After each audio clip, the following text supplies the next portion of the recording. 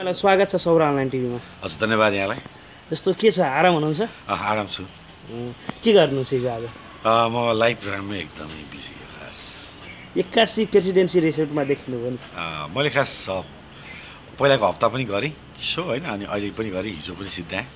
अब अब चाहिँ मेरो ऊ चाहिँ मतलब काठमाडौँमा सो छ यसो बुटोलमा हुन्छ नि। वैशाखसम्म वैशाखको फर्स्ट विकसम्म एकदमै सो नै छ बिजी छ जस्तो आम दर्शक श्रोतामा चाहिँ निकै लोकप्रिय नवीन के भट्टराई। पछिल्लो समय चाहिँ यो एल्बम नल्याउँदा चाहिँ अलिकति कता कता हराएको भन्ने महसुस पनि भएको छ नि आम दर्शक के होइन त्यो? चाहिँ खास कस्तो नि मैले मेन स्ट्रिम मिडियामा प्रायः जस्तो म गीत दिन्न आजकल। हुन्छ नि म युट्युबमा मारिदिन्छु हुन्छ नि। खास त्यो भएर होला हुन्छ नि। तर म लाइभमै एकदमै बिजी हुन्छ मैले स्टुडियो छिर्नै पाएको छैन। अब अब अब अब गर्नु पर्ला जस्तो तपाईँको चाहिँ पहिलो गीत सुनौ न। आँखामा तिमीलाई हजुर। आँखामा तिमीलाई पाउँछु म धेरै धेरै। जस्तो नवीन के भट्टराई हिजो हिजो आज जस्तो जुन खालले व्यस्त हुनुहुन्छ नि त्यो बेलाको यो बेलाको व्यस्तता र सुरुवातको त्यो दिनमा चर्चामा आउँदाको व्यस्ततामा फरक कस्तो छ? एउटै हो खास हुन्छ नि एउटै हो होइन एउटा खुसी लाग्छ हुन्छ नि अब म भर्खर भर्खर आउँदाखेरि अब जुन मेरो फ्यान्स फ्यान बेसहरू थियो अहिले उनी नै फ्यान त्यो फ्यान बेसहरूले आफ्नो छोरा छोरीहरूलाई आएर हुन्छ नि हुन्छ नि लुक एट नवीन के भट्टराई हुन्छ नि भनेर उनीहरूले दुईवटा जेनेरेसनहरूले सुनिरहेछ हुन्छ नि। यस यसको लागि म एकदम खुसी छु खास। जस्तो खासमा नेपालको चाहिँ यो कलाकारिता जुन हिसाबले फस्टाउनु पर्ने हो त्यो फस्टाइरहेको छैन।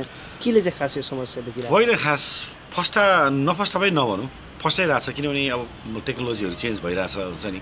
अब पहिला क्यासेटमा हुन्थ्यो त्यसको सिडी आयो अहिले आएर युट्युब्सहरू आयो होइन सो सोसियल मिडियाहरू। चेन्ज भइरहेछ राम्रै छ खास। जस्तो सोसियल मिडिया आउँदा कलाकारहरूलाई त अलिकति धेरै हिसाबले चाहिँ घाटा भयो भन्छन् नि। राम्रो खास राम्रो भएको छ किनभने टेक्नोलोजी सँगसँगै मतलब बग्नु सिक्नुपर्छ हुन्छ नि? त्यसलाई त्यो हुन्छ नि जुन एउटा टेक्नोलोजीको आवेगलाई हुन्छ नि रोक्न सकिन्न हुन्छ नि? खासमा त कसैले पनि सक्दैन। त्यस कारणले त्योसम्म बग्नु नै ठिक जस्तो लाग्छ मलाई। फेरि एउटा तपाईँको गीत सुनाउनु हाम्रो दर्शकका लागि। साँझ पख आफैलाई बिर्सिँदा।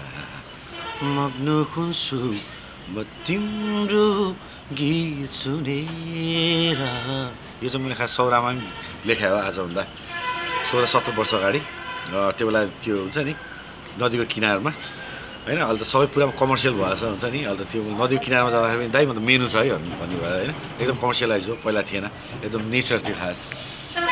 भनेपछि कति वर्षपछि अहिले यो चितवन तपाईँ आइपुग्नु म आठ दस वर्षपछि होला सायद। कस्तो लाग्यो त्यो बेला चितवन मलाई मलाई पहिलेदेखि मनपर्ने ठाउँ हो मलाई एकदम। सौरा भयो चितवन मलाई एकदम पहिलेदेखि मनपर्ने हो। पछि सौरामै तपाईँले लेखेको त्यो गीत हजुर। फेरि आएर सौरामै गीत त्यस्तो लेख्न मन लाग्दैन? होइन म अस्ति नै एकचोटि गएको थिएँ फेरि होइन अनि एकचोटि जाँदाखेरि चाहिँ सबै म कमर्सियलाइज भइसकेको छ जुन एउटा नेचर थियो नि प्रकृति। अब रेस्टुरेन्टहरू पनि धेरै भएछ हुन्छ नि।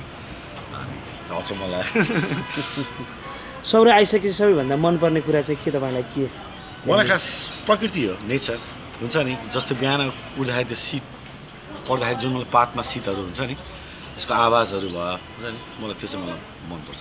अब हामी अब कुराकानीको चाहिँ अन्त्यमा पनि छौँ। तपाईँको त्यो फिक्का फिक्का बोलको गीत फेरि सुन्छौँ।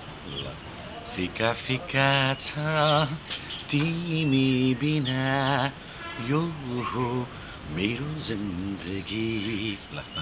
जस्तो अब तपाईँको म, नयाँ आउने एल्बमको कुनै गीत त्यस्तो केही छ? अँ, मैले अहिलेसम्म गरेको छैन खास मैले टाइमै पाएको छैन है।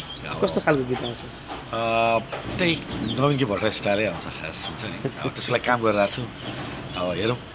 जस्तो नवीन के भट्टराईलाई पछ्याइराखेर गरेको खालको चाहिँ ट्रेनको गीतहरू आएको छ कि आएको छैन बजारमा? आइरहेछ खास आइरहेछ हुन्छ नि किनभने मैले पहिला जस्तो गाना गर्थेँ अहिलेको नयाँ भएर त्यही त्यही चिजलाई तर म हुन्छ नि म डिजिटलाइज गरिरहेको छु हुन्छ नि त्यस खुसी लाग्छ। जस्तो अब कार्यक्रमको अन्त्यमा सौरा अनलाइन टिभी हेर्ने यो तमाम दर्शक श्रोतालाई के भन्न चाहनुहुन्छ? अँ, उहाँलाई म धन्यवाद दिन चाहन्छु।